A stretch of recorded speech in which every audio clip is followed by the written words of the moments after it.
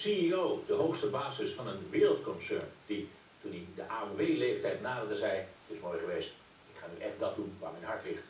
Ik verruil het pluche van de directiekamer voor het harde zitje van de kruk achter het drumstel. Een Amsterdammer loopt door New York. Sinds een aantal jaren heeft hij hier zijn tweede thuis. Hier ontmoette hij de Amerikaanse liefde van zijn leven. Hier werd zijn oudste dochter geboren. Hier hebben zijn beide dochters gestudeerd. Het is Fred Gering, weg naar zijn oude werkgever, modekoning Tommy Hilfiger, die naast zijn andere huizen in bijvoorbeeld Miami tegenwoordig ook dit appartement bezit in het Plaza Hotel, gelegen aan Central Park. Wie even binnen rondkijkt, ziet onmiddellijk dat het de heer des huizes voor alle denkbare winden is gegaan. Geen spoor meer van de bijna spectaculaire neergang die zijn bedrijf in Amerika in de jaren 2000 tot 2006 heeft meegemaakt. Fred Gering was uiteindelijk de redder in de nood. Want in die tijd was hij met Hilfigers merk in Europa juist zeer succesvol. Dat hij ervoor koos om het als luxe kledinglijn in de markt te zetten. Hoe hij zijn strategie in Amerika introduceerde en daarmee het imperium redde, is inmiddels een uitgebreide case study aan de Harvard Universiteit. Een heel boekwerk is eraan gewijd. In zijn zwaarste nachtmerries zag Hilfiger voor zich hoe hij bijvoorbeeld zijn mooie kunstwerken, inclusief de Warhols, van de hand zou moeten doen. Op de top van de populariteit van het merk liepen zowel president Clinton als rapper Snoop Dogg in zijn ontwerpen. Dat moest dus wel fout gaan en dat ging het ook. En dus noemt hij Gering de redder van zijn levenswerk. Want hij is niet vergeten hoe hij er destijds voor stond. Real drop in sales. The customer at one point said no more. And I credit Fred for being the lifesaver. So I will always be indebted and grateful for what he did because not many people could have done that. Vandaag ontmoeten ze elkaar weer, voor het eerst sinds lange tijd, als oude vrienden. Fred. Great to see you. Great to see you. Gering werd de CEO, de hoogste baas van het wereldwijd opererende concern. En toen kwam het moment waarop hij dacht, het is nu echt tijd voor iets nieuws. Iets doen bijvoorbeeld met de nummers van mijn absolute favoriete band, de Beatles. Het zal geen toeval zijn dat ze elkaar hier spreken op bijna historische grond. that the Beatles, when they first came to New York, were Stayed in this building. That's Maybe even in this room. Very, very Possibly. possibly. You know, Mick Jagger was here one night for dinner, and he said, "I stayed in this room When it was a hotel. when it was a hotel." Dit wordt een verhaal dat je kunt samenvatten als de grote carrière move van een succesvol zakenman. Hij verkocht zijn aandelen in het bedrijf waarvoor hij werkte.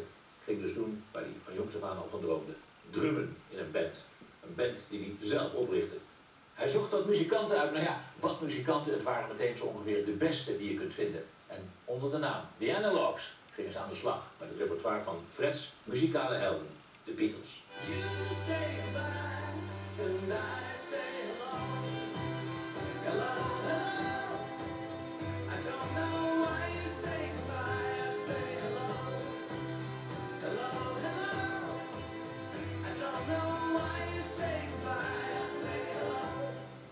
dan denk je, leuk, weer een bandje dat de Beatles imiteert. Maar wat Fred in zijn hoofd had, was iets anders, was zoveel meer. Hij ging voor de nummers die de Beatles zelf nooit tijdens optredens hadden gespeeld.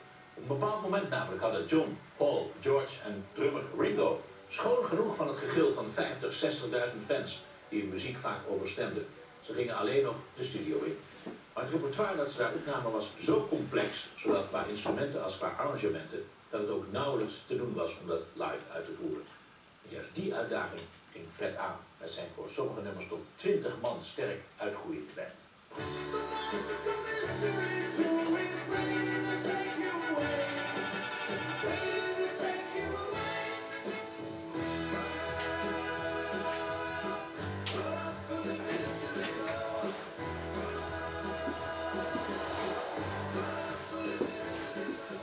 Hij zelf ook niet op gerekend had, was dat dit tweede leven met The Analog een ongekend succes werd. Het grootste compliment voor zijn streven naar absolute perfectie kreeg Fred van Jeff Emmerich, de sound engineer van de Beatles zelf. Hij was een piepjonge geluidstechnicus toen hij voor het eerst met John, Paul, George en Ringo de studio inging. Dat was in lengte van jaren zat hij in de Abbey Road Studios in Londen aan de knoppen. Dit vindt hij van The Analogs. I've never heard anything come so close uh, uh, to the original records but before. I mean, I was just, just really baffled when I heard it. I thought it was just amazing. If you were to shut your eyes, I think you'd really be listening to the original record.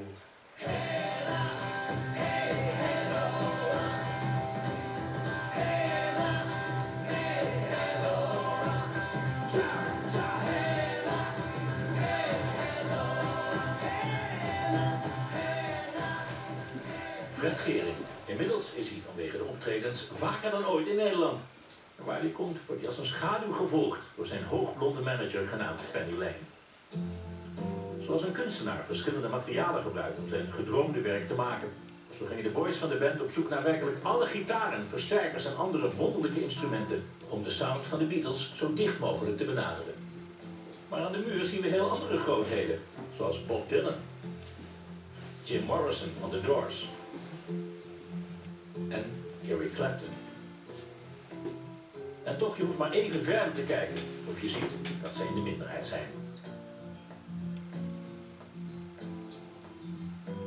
Alle Beatle gadgets die je kan bedenken, kom je hier tegen. En ook foto's van de Bad In for Peace, onderdeel van de huwelijksreis van John Lennon en Yoko Ono in de Presidential Suite van het Amsterdamse Hilton Hotel. Nee, de Beatles zijn hier overal prominent aanwezig. Maar Fred, iemand die zijn hond Penny Lane noemt, dat moet wel een ongelofelijke Beatle-fanaat zijn. Ja, ik ben met je eens op het randje. Eigenlijk was de working title was Ringo. Maar het werd een, uiteindelijk een televisief. Ik denk, nou, dat kan niet. Ik dacht, Ringo voor mij is een hond, een mannetje. Maar mijn dochters die zeiden van, nee, je kan niet een meisje hebben dan Ringo. Dus toen ik Penny Lane. Dus dat betekende de Beatles voor jou? Ja. Toen hij bij een fundraising diner voor Hillary Clinton was, zag hij opeens zijn held Paul McCartney. En dan denk je, kans van 1 op een miljoen. Daar stevend hij meteen op af en zegt, ja, ik ben Fred van de Analogues en Ja, nee. in Nederland doen wij de Beatles. Nee, ik heb, moet eerlijk zeggen, ik stond daar in, eh, inderdaad op een fundraising voor Hillary Clinton. En eh, toen zei mijn vrouw, je moet even achter je kijken, want die is hier. En ik denk, het gaat over Bill. Maar ik keek om en stond McCartney. En nou ben ik eerlijk gezegd niet heel erg snel starstruck van mensen, maar ik was wel eventjes van, jezus, ik, hier moet ik wat mee. Ja. Maar ik heb een kwartier lopen oefenen, mijn opening eh, zin, maar ik kwam niet verder dan aan Fred van the Analogs. En ik denk, ja, dat krijg ik, ik bedoel, ik ga naar die man, naar Fred van the Analogs, die lag mij uit. Dus ik heb het niet aangedurfd. Dat ik nu spijt van natuurlijk. Maar. Maar jij die als CEO ook al de wereld aan je voeten hebt gehad, durft dat niet naar Paul McCartney. Nee. Dat maakt het wel weer sympathiek Fred. Ja. Geen moeilijk Beatle-nummer gaan ze uit de weg. Hoe ingewikkelder de compositie, hoe groter de waardering die ze ervoor krijgen. De Volkskrant schreef al, beangstigend goed.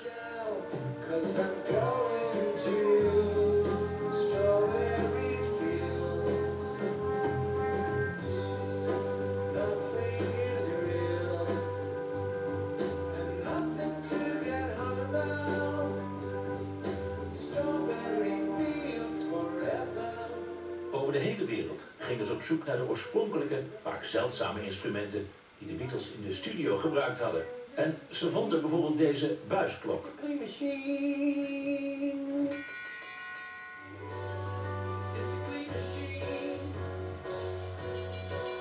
Die dook op in een opslagplaats van de brandweer in Liverpool. En die was nodig voor niet meer dan een paar tikjes op de bel tijdens Penny Lane.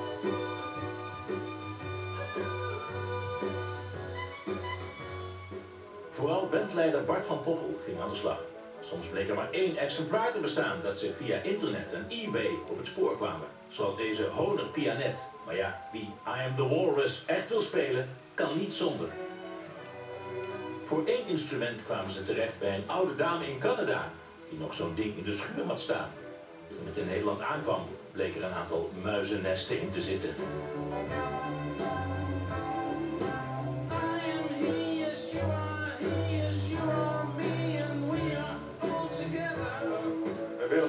Mensen die in de zaal zitten, dat die hun ogen dicht kunnen zeggen van, jezus, ik hoor de Beatles. En daar is het gewoon essentieel in dat je de authentieke instrumenten hebt. Niet alleen instrumenten, de, de orgels, de, de versterkers, alle oorspronkelijke sounds, de strijkers, de blazers. Als er een harp langskomt, een harp. Dus as crazy as it gets. Zo werd ook de clavioline getraceerd. In Baby Richmond krijg je, gewoon, krijg je dus dit. Alles voor een paar maten van het originele geluid. Zoiets, hè? Dat is eh, Baby O Richmond. What did you see when you left? Juist hierdoor heeft iedereen dezelfde reactie. Doe je ogen dicht en je hoort de Beatles.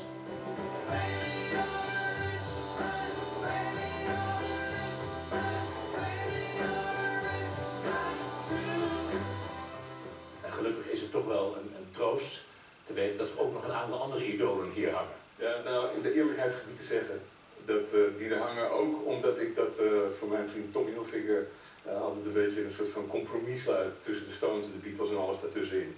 En ik heb zoveel Beatles altijd overal in mijn aanwezigheid dat ik als hij hier bezoek komt, maar misschien dat ik ook wat andere smaak heb. Zijn oude werkgever neemt Fred mee naar een nieuwe winkel in Manhattan. Even is hij terug in zijn vroegere wereld. Daarbij beseft hij terdege dat hij dit hele muzikale avontuur te danken heeft aan zijn jaren in de modewereld. Daardoor kon hij zich permitteren om de analogs op te zetten. Want dat het een kostbare exercitie is, is duidelijk. Intussen irriteert het hem lichtelijk. Die uitgesproken voorkeur van Hilfiger voor de band van Mick Jagger. Ja, dat is een dingetje, want ik loop die winkel in en daar hangen al foto's, maar altijd in de Stones. Als ik naar een fashion show van hem ga en dan is er bij de runway komen de models en is de muziek de Stones. Dus ik heb al twintig jaar lang gepitcht voor Beatles, maar het zit niet in zijn systeem. Maar er komt natuurlijk een moment dat er geen Beatles of Stones hangen, maar de. Dat is mijn doel. I know for a very long time his heart and his passion is in music. And even years back, he took a bit of a hiatus and focused on his music. So this doesn't surprise me at all.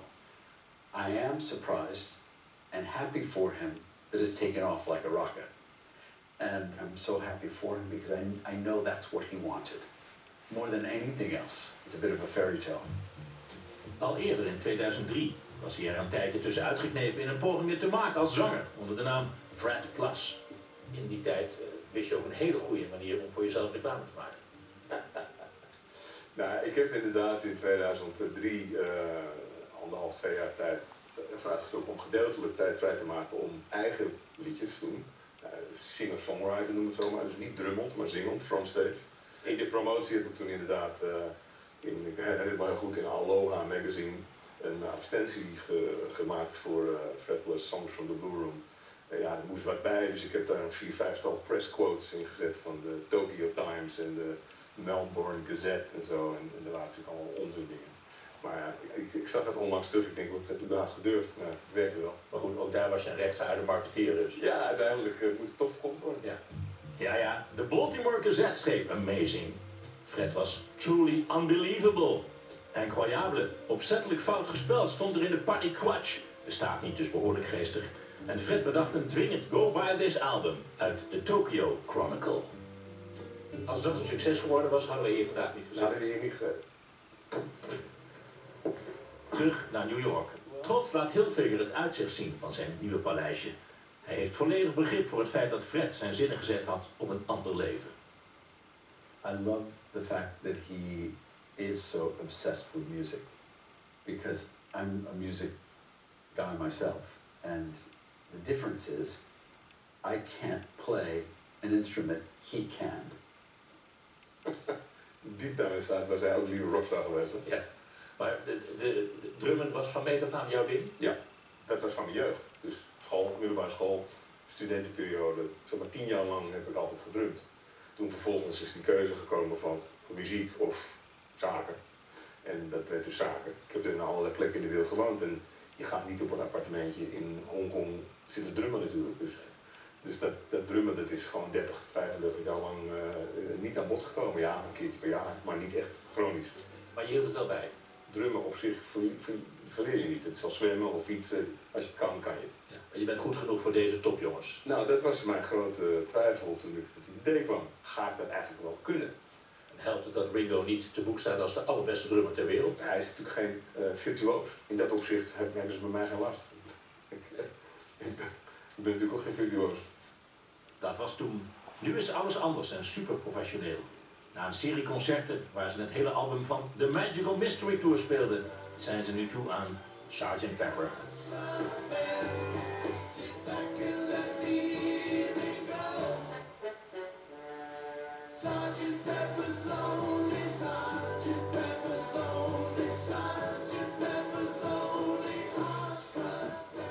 Je bent in het Hol van de Leeuw al geweest, in Norwich hebben jullie gespeeld. Eh, toen ik dat las, dacht ik, nou, nou, nou, nou, die Engelsen die moeten daar wel even aan wennen.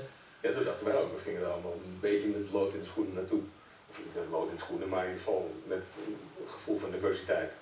Maar eh, op een, misschien nog wel meer dan in Nederland gingen men op de banken daar. Oh ja? Ja, kijk hoe je het verkeerd. Het is natuurlijk de Beatles, helemaal in Engeland natuurlijk, maar uiteindelijk is het een universeel fenomeen, de Beatles van iedereen.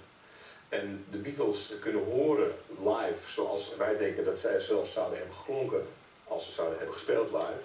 Even los van de zang, want die kun je natuurlijk niet nadoen. Dat, we zingen het gewoon, probeer het gewoon goed te zingen in de mooie harmonieën, maar je hebt geen specifieke McCartney, specifieke Lennon, maar alle sounds, die zijn gewoon 100% hetzelfde. En daarbij komt ook het oude werk soms aan bod. And I'll be satisfied. Tell me that you want that kind of fence. The money just can't buy. I don't care too much for money. Money can't buy me love. In het buitenland komen we en de meeste Beatle-bands hebben een naam, Bootleg Beatles of de Day Trippers, maar de analog zegt niks. Je gaat naar een nieuwe zaal eh, in een nieuwe stad en je moet maar afwachten of er mensen op afkomen. Dat is de grote spanning. Welk verhaal je ook over jou leest, hè, het staat te boek als de carrière move die onverwacht is. Hè. Een grote zakenboy hè, die uiteindelijk kiest voor zijn echte passie naar muziek maken en drummen. Ja. Dat is toch een enorm ding, vinden mensen. Ja, nou ja, ik, ik heb het al eens vaak gezegd, muziek is eigenlijk het mooiste wat er is. En natuurlijk is zaken doen, ondernemen, succesvol zaken doen, bouwen, wat het ook is dat je bouwt. Als je iets probeert te bouwen en je ziet het bouwsel gestand krijgen en het krijgt succes, het krijgt waardering, is allemaal leuk. Maar in feite is de muziek het leukste. En ook als je daar iets in kan bouwen en het krijgt waardering, zoals we nu meemaken met de analogs, dat is natuurlijk nog leuker dan al het andere. Ja. En ja, muziek zit, zit veel meer in mijn systeem dan mode, dat is gewoon 100% zeker.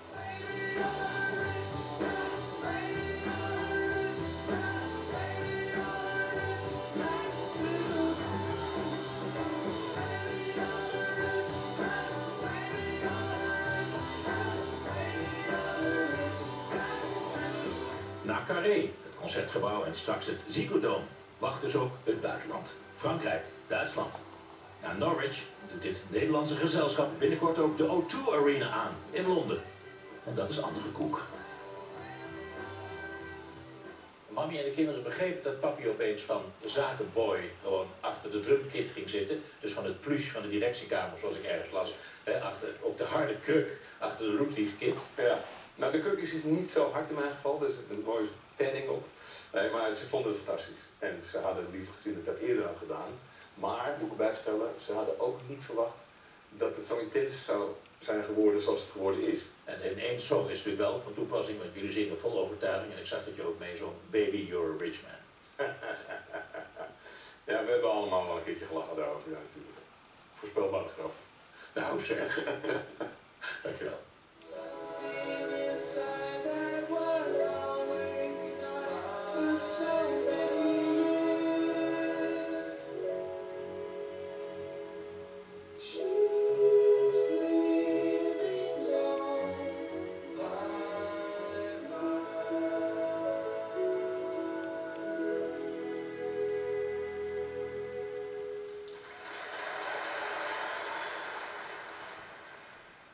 Ja, die analogs. Naast het optreden in Engeland moet dit het voorlopig hoogtepunt worden uit hun muzikale avontuur. Op 1 juni, de dag waarop het album Sgt. Pepper's Lonely Hearts Club Band uitkwam, staan ze in, jawel, de Ziggo Dome. Het kan minder. Tot zover voor vanavond. Volgende week zondag zijn we er weer. Zelfde tijd, zelfde zender. Heel graag.